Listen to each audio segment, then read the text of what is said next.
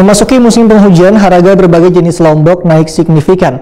Pemicu melonjaknya harga lombok di tingkat petani ke pasaran, lantaran selawas musim penghujan, lahan tanaman lombok di beberapa daerah di Kabupaten Hulu Sungai Tengah dan Hulu Sungai Selatan sebagai penghasil berbagai jenis lombok, terendam banjir yang terjadi dalam sepekan ini. Berikut untuk kabar yang selengkapnya.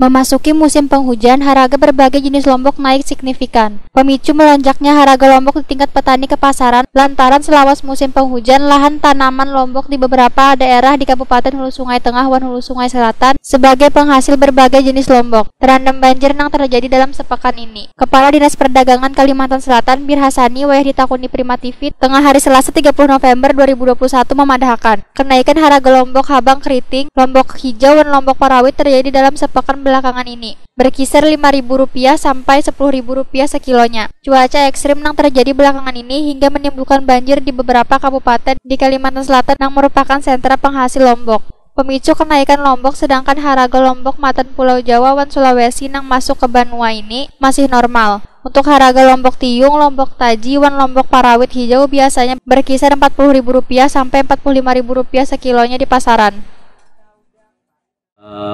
Merah besar, cabai keriting dan cabai rawit banjar yang kecil-kecil ya khas Kalimantan lah gitu. Nah ini juga mengalami kenaikan 5 sampai 10 ribu ya kenaikannya. Jadi lumayan drastis juga. Uh, ini kenaikannya hanya terjadi dalam seminggu ini. Hmm, ya semingguan ini karena apa? Karena mungkin ya cuaca ekstrim dalam uh, setengah bulan terakhir ini kan terjadi cuaca yang cukup ekstrim. Hmm. bahkan terjadi banjir ya di beberapa kabupaten di Kalimantan Selatan ya yang itu adalah sentranya tanaman cabai ya. Hmm. nah, sehingga memicu kenaikan harga. Hmm. cabai dari Jawa tidak masih normal saja.